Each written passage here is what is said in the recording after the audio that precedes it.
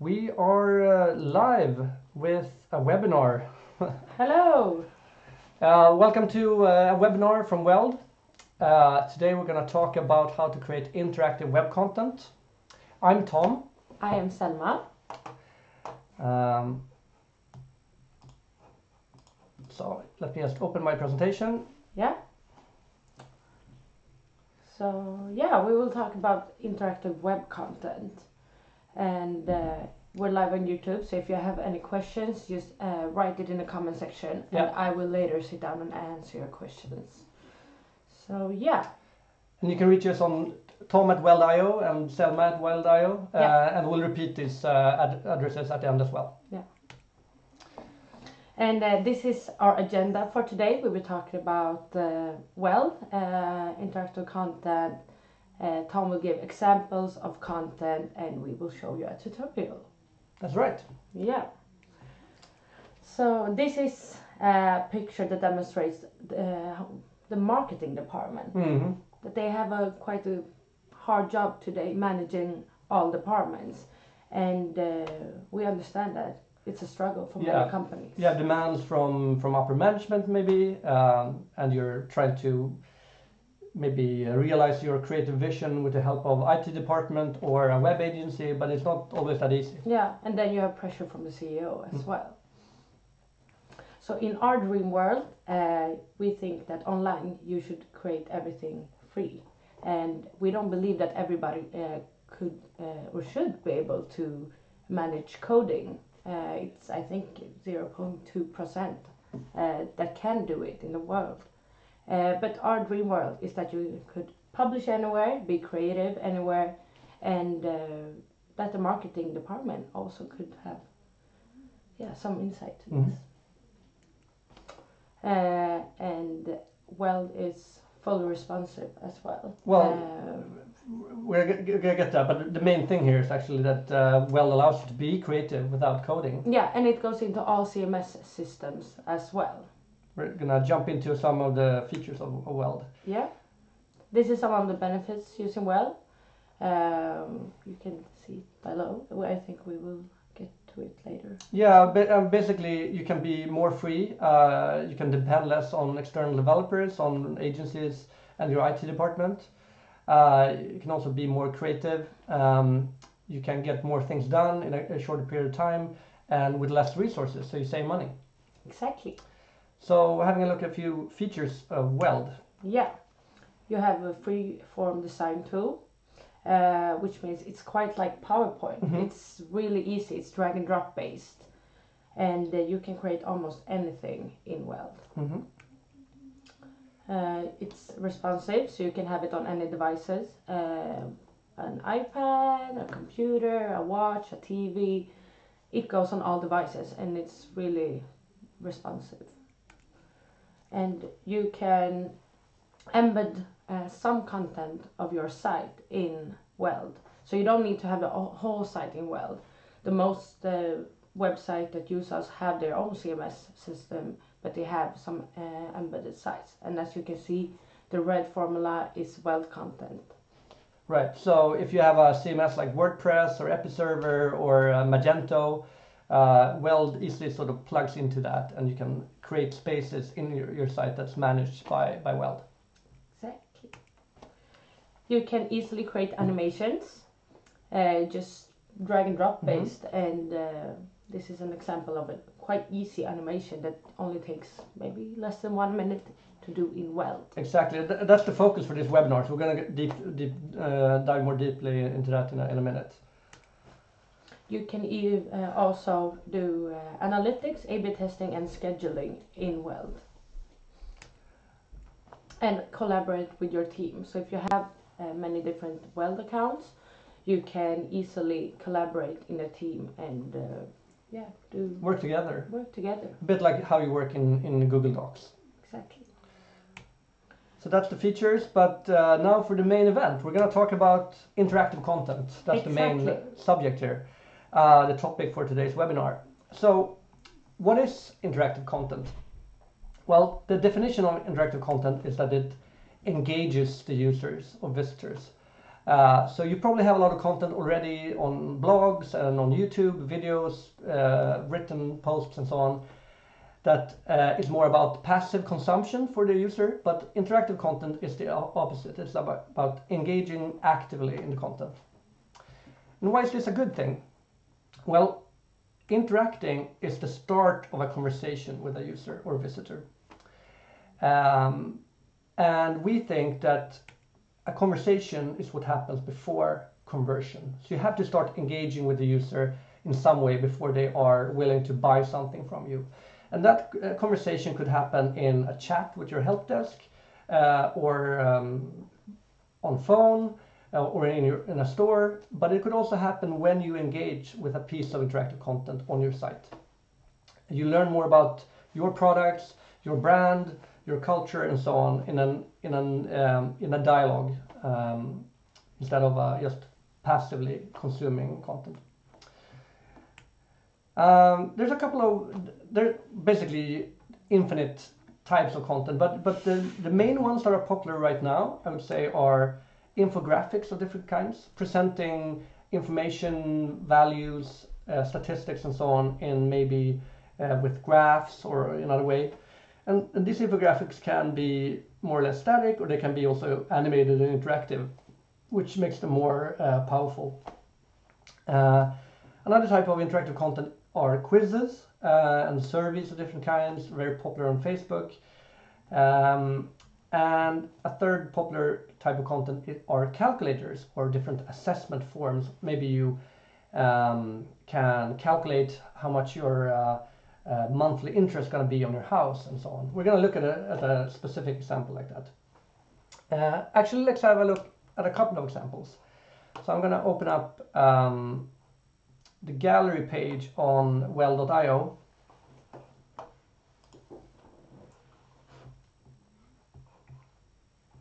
So if you go to weld.io slash gallery, we have a bunch of, of um, examples and uh, I'm going to look at a few of those. Here's a little demo that you also saw uh, on a slide just previously. Um, it's um, for an e-commerce site and it's a replacement for uh, a traditional carousel, image carousel. You have those sort of sliding images uh, that are very popular, but actually they are not great in presenting multiple products because uh, people focus too much on what's happened in the first two images, perhaps. So here's another way, uh, basically presenting different products, um, and you show information when you hover with the mouse. Exactly. Um, and show another one. Here's a more advanced animation uh, example. It looks more dramatic than actually is. Uh, building animations like these are quite simple in, in Weld, but basically I have uh, objects flying in the background and windows popping up when I hover over these uh, models. Um, here's an example of one of those calculators I, I uh, mentioned earlier. Um, so here's a slider where you can input how many miles of car driving you do, I believe, on a yearly basis. Uh, and we present how many acres of trees are needed to absorb the carbon dioxide uh, with little animations happening as well. Uh, and the final example for now uh, is this very simple uh, il illustration it's a phone and you can sort of break it apart with uh, with a click of a button and put it back together and this is also very simple uh, to do in, in Weld. Um, so that's a few showcases. So I'm going to actually dive into the Weld itself and show yeah. you uh, how you can do a few things uh, like this. And I will go back to you later uh, because I will sit and answer some questions. Yeah, but you can you can stay on camera maybe and, and just uh, and uh, answer in the chat. If you if, so, if you have any questions already, just type them in the chat. And I'm sitting here. Yeah, someone ready. will be uh, answering them already. Yes. Okay, let's go. So um, uh, first of all, this is um, okay. Um, I'm now inside the Weld tool. Um, I'm not gonna do a full uh, walkthrough of Weld because we have other uh, uh, tutorial videos and so on on the Weld.io that explains more the basics of Weld. Um, but in short, Weld is a tool a bit similar to Keynote and PowerPoint. Um, you can draw things, you can animate them, you can publish. Um, and up here you have a toolbar where, where you can create objects. On the side, on the right side, you have a panel where you can uh, change formatting, colors, fonts, and stuff like that. Uh, on the left side, you have your screens or pages inside your project. Um, so jumping straight into the interactive features of Weld, there's basically two ways you can do uh, interactivity in Weld. One is super easy and basic uh, and quite limited, um, and the other one is quite advanced. So the, the simple system is called object states, and you find it in the bottom uh, right corner Weld. You have uh, normally you have buttons here that says what responsive layout you're you're working in, but you can click the little gray arrows down here, and it changes into three green buttons instead. So you have one button called normal, one called mouse over, and one called click. And here I can apply different formatting based on an object is is uh, you having the mouse over the the the, the button you're hovering with with the mouse over uh, and when you're clicking on the object. Uh, and these states only apply to one object or the object being clicked or hovered upon. So um, it's very easy to use it. Basically, I just um, be before I'm just gonna preview to see what this looks like now. So I have a, a button here. It, nothing happens when I hover with my mouse and when I click on it. So that's a bit boring. Let's spice it up a little bit. Um, so I click mouse over and you can see a lot of the controls here switch to green. That means that all formatting I apply now um, will affect the object uh, when I have the mouse over. So for now I'm just happy with applying a little shadow to it. So I want to sort of make make the button appear to lift from the page. So I did that so normal looks like this, mouse over looks like this. And when I preview it, we add a smooth transition there. So it sort of seems to lift up from the page. Quite nice. And if I want to apply um, formatting when I'm clicking the object as well, I, I click on the click tab here I can change the color. Maybe I want to darken the, the color. S same uh, hue, but uh, darker tint, like that. Okay, so now I have normal, mouse over, and click. Let's uh, preview it. So I hover over, the shadow, shadow is there, and I click, it turns dark. That's pretty simple. But the main limitation of this system is that you can only affect the object that you're working on. This button can only make itself darker uh, or um, and, and, so on. Uh, our more advanced system is called action blocks, and this allows you to do things to make maybe this button affect other objects on the screen. Um, so just to show the principle, um, I can uh, open the actions panel. You find it up here in the, in the top menu. So I get this gray bar down here and I have a number of green uh, blocks. They are called action blocks. The green ones are triggers. They will um, listen for things to happen. Um, and before you can make anything happen, you need to have a trigger. So the triggers that are available to me are click, mouse over, drag, drop, scroll, and auto start, which means it will run just when my, my uh, uh, piece of content is, is running. Um, so for now, I want to use click. So I drag a click block up here.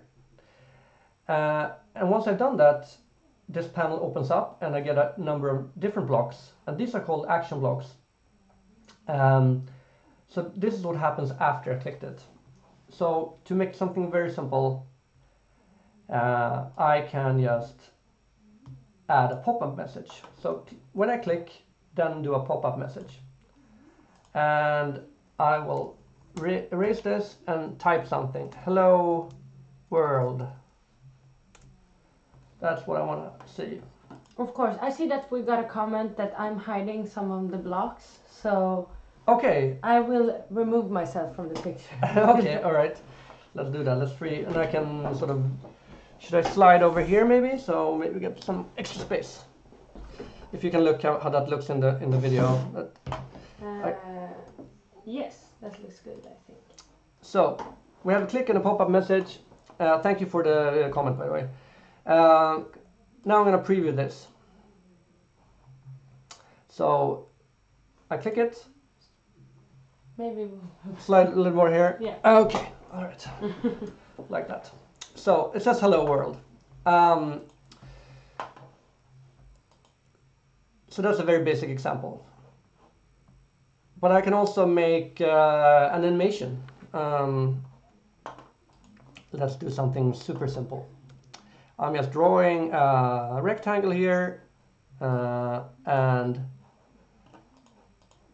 when I click this button, the blue button again, uh, I don't want to show the pop-up message, so I remove that block. Instead, I add an animate block. Uh, we're going to use that uh, extensively in the, in the next couple of uh, steps as well. Uh, the animate block is uh, quite simple in its um basic form, but you can do quite powerful stuff with it. So what it basically does is take you from a starting state to an ending state with a soft transition between the two. So let's say in the starting state, this is where we begin. Uh, and then in the ending state, I want this box to fly over here. Uh, you can see the box quite subtle, but you got a green border. Uh, Before it had a gray border, but now it has a green border, uh, signaling that it ha has um, an animation on it. I also wanted to turn orange, like so. Okay. So the start state and the end state. Um, so now when I click this, the, the, the orange or the, the box flew to the right side and uh, turned orange.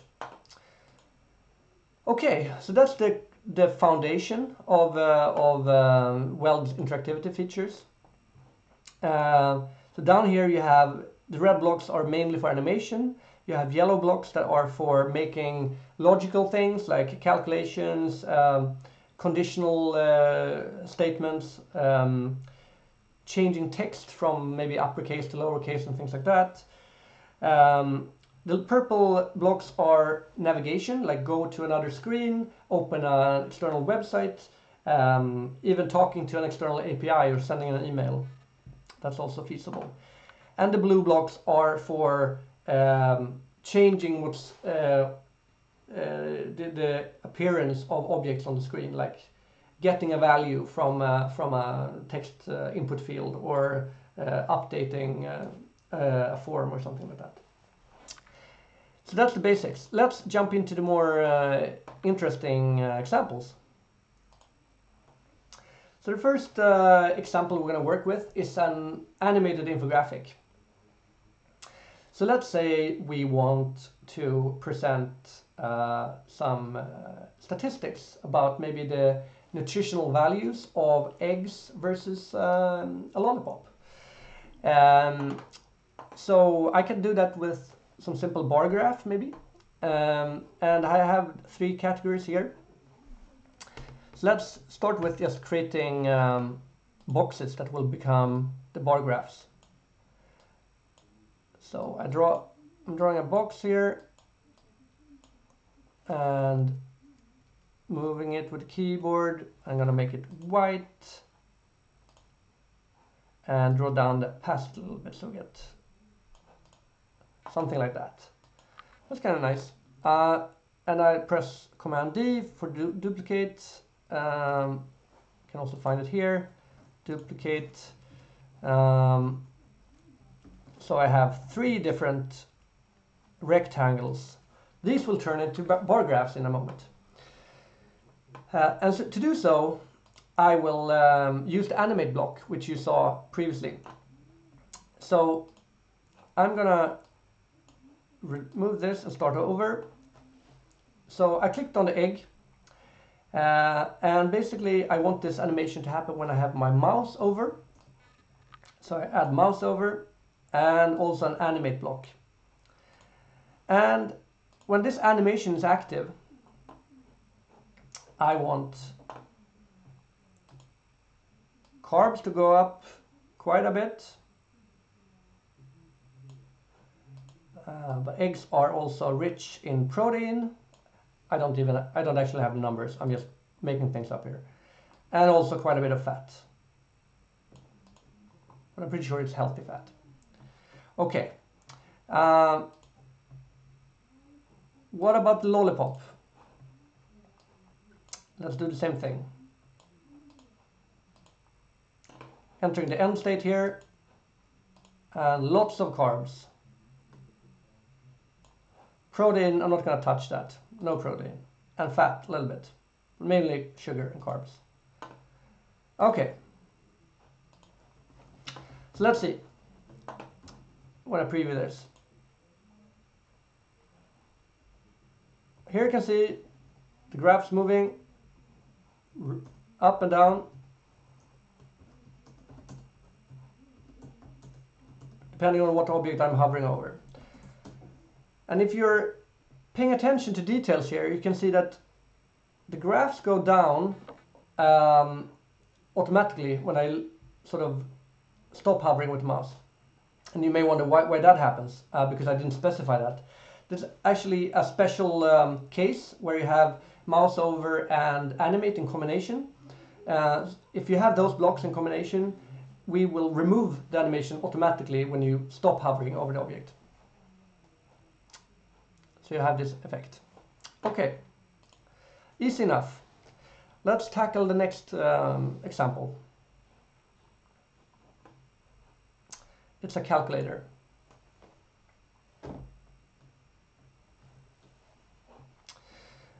Any any comments so far? Any question we should? Uh... No, No? Uh, I we got a question. Yeah. And I um, it wasn't me who was the problem. I think um, limousine.com thought that we were covering uh, the screen, Ah, okay. but we're right. not. We have No. a Okay. we have a green screen, so everything he does Yeah. Uh, is you can see it as well. Exactly. Yeah, yeah, yeah, exactly. Yeah. Uh, so we're not covering anything. Uh, we have a few issues with the green screen though, so you see a little bit of a gray border, but uh, that's good. So now we can have you back in the studio. Yeah. That's great. Okay, let's let's uh, keep uh, working on the, ne- the next uh, example. So here's a, a little calculator that we're gonna do for um, uh, for a loan. So it could be a bank or something like that. Um, but this principle we're going to use here could be uh, applied in a product guide, so like to pick the perfect jacket or uh, the furniture that you need and so on. Basically, it's um, about listening to input from the user and presenting information back to the user. Um, so here's, um, in this I have, a, I have a slider. You can find, uh, I can, actually I can tear this down and build it right back up. So we start with a slider. You find it in the in the um, insert menu uh, down here, a slider.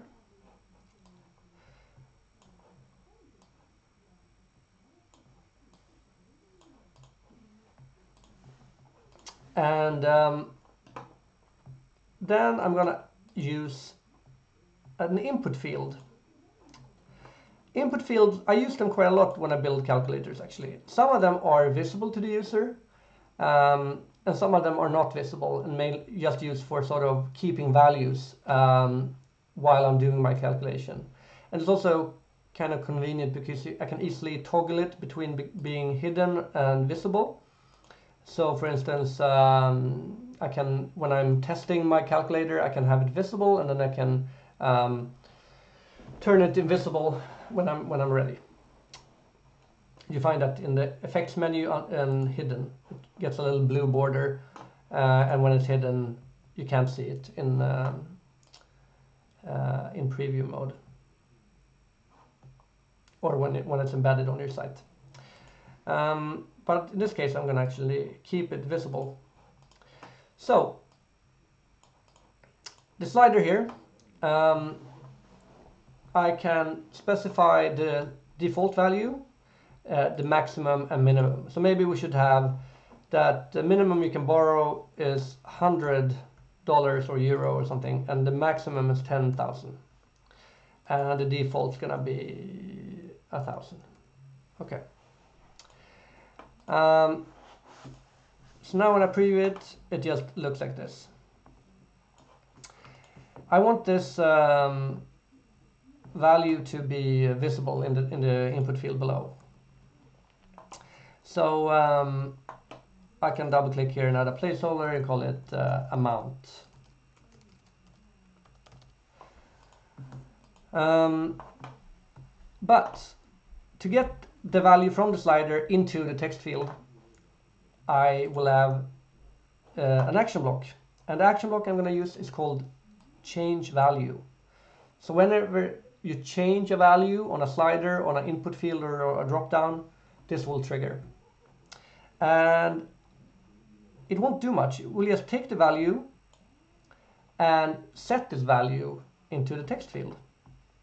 And if I click the, the little uh, settings button for this block, I can see that I have a destination object and I can use the purple arrow here and click on amount and it says input 364. That's the ID for the input field. And the value uh, is using a special kind of um, expression here. It says previews, which mean it will take whatever is coming uh, higher up in the chain of action blocks. In this uh, case, it's just the slider value. And that's all it takes. So now in a preview, you can see that it sort of changes the value underneath.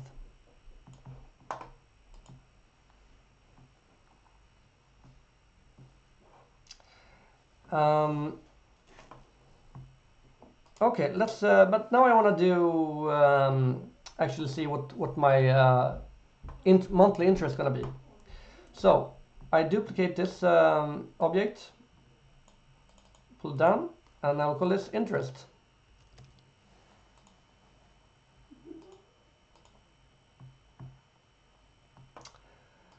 Uh, so now when I run it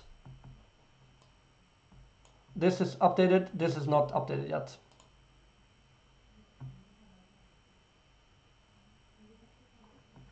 So to update the interest I could add more action blocks to um, to the first chain that I started on but to show you uh, how you can sort of chain things and create chain reactions in Weld, uh, I will actually create the action block here on the amount box.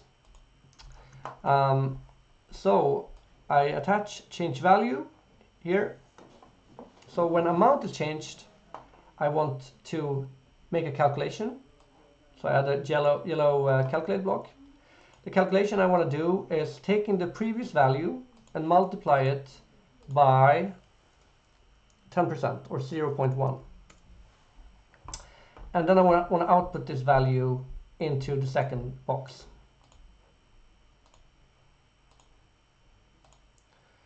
And I use the purple arrow to select the box.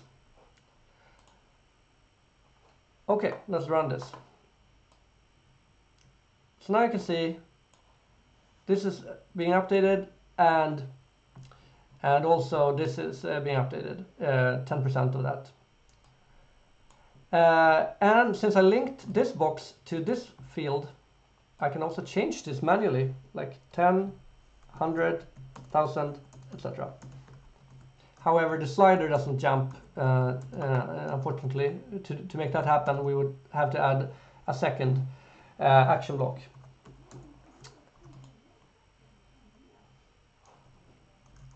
And of course the um, the value doesn't have to be outputted into a, an input field sometimes from for design uh, reasons or something you want just a normal text object and that works as well so um, I just make a text object here, make it bigger.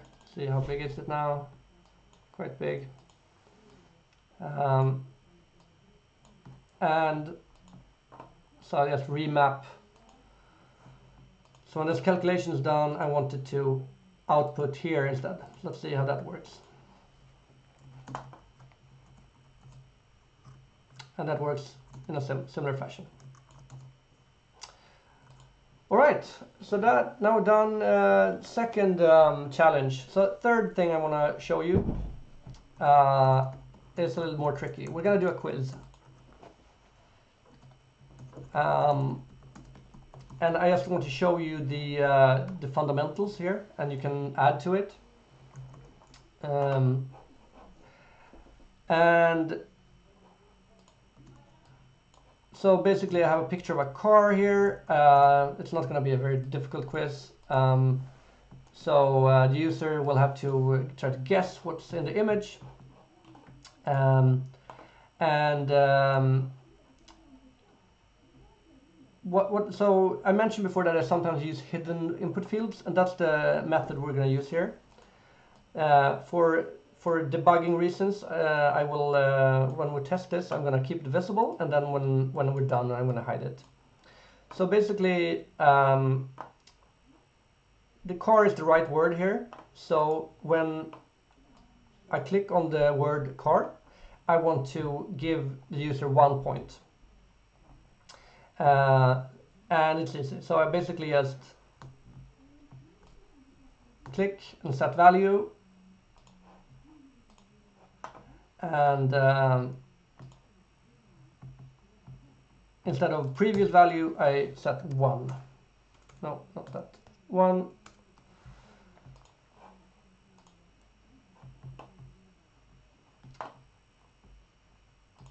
so when I click it it, it puts a 1 in the box here. And just to make sure I want uh, this box to be 0 uh, from the from the beginning. So um, I'm gonna add use one of those uh, auto start blocks and uh, set value and click on myself and then the value is going to be zero okay so now it says zero here and when I click this one, nothing happens. Click this one, nothing happens. When I click car, it becomes a 1. Okay. Uh, should make this a little bit bigger as well so you can see what's happening inside them. And um,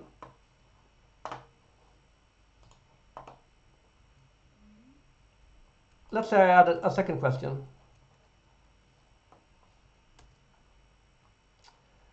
I'm gonna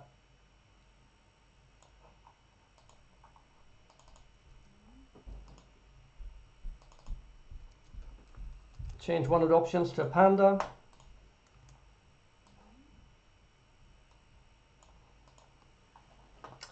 Um,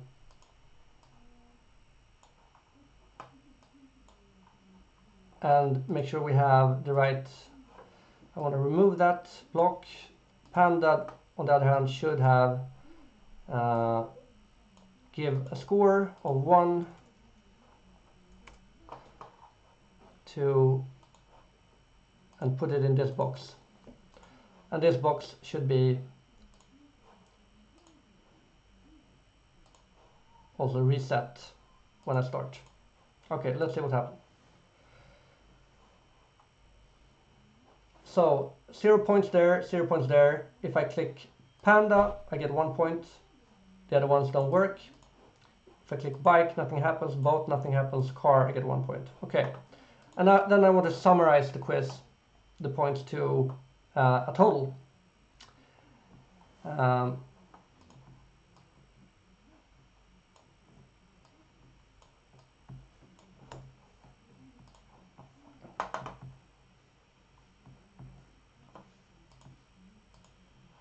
and um,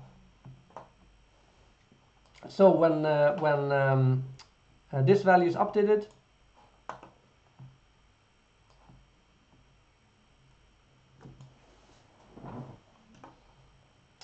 uh,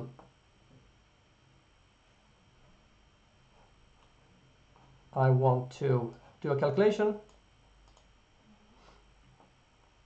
And uh, take the previous value and add it with this one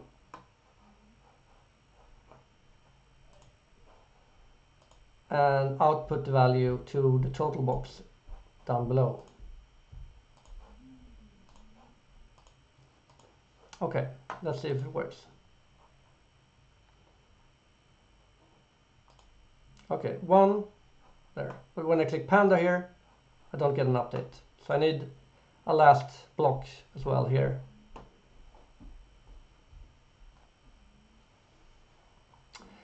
Uh, so when this is updated to, I want to calculate the sum of these two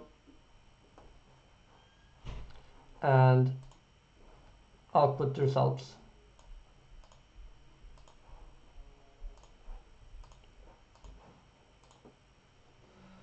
Okay, let's see. Uh, zero, zero, zero. Click car, I get one point. Click panda, I get two points. So that way you can calculate the total for the quiz.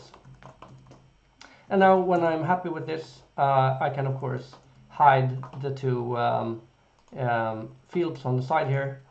Uh, I don't need them to be visible to the user.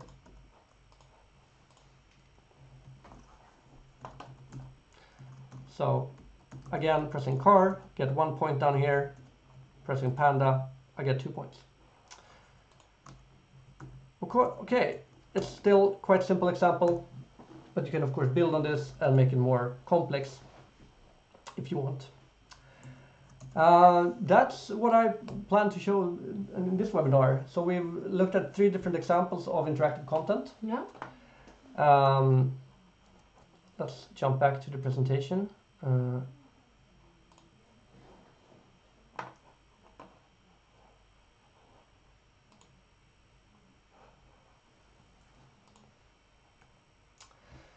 Uh, did we get any more questions from from uh, the chat or? Uh, we got a question. Yeah. Uh, yes, if we work with Wix, which we don't, uh, right? Uh, actually, you can use uh, Okay. Wix. Yes. So uh, Wix is basically uh, a CMS like many others. So you, you can embed uh, a Weld clip uh, Okay. into into Wix as well.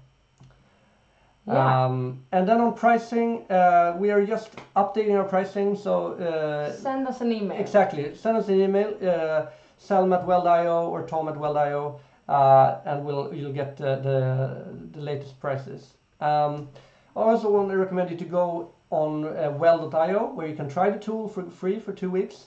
Uh, you'll also find plenty of other videos and tutorials and so on where you can see how we do responsive content, how you work with images and typography on the web and so on. And you can learn quite a lot. Yes. So, So, that's us. Uh, that's all for now. yeah, I thank you for watching. You learned something, and as Tom said, just email us for any question. Goodbye. Goodbye.